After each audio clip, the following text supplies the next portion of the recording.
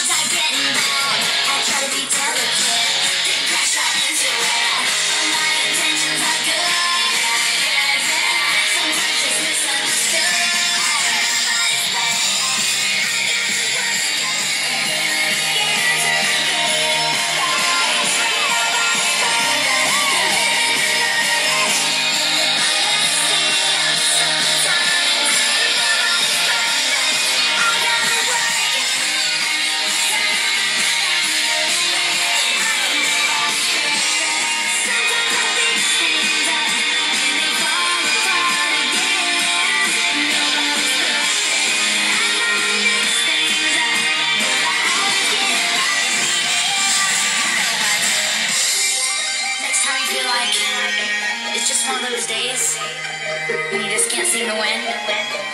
If things don't turn out the way you plan, figure something else out. Don't stay down. Try again.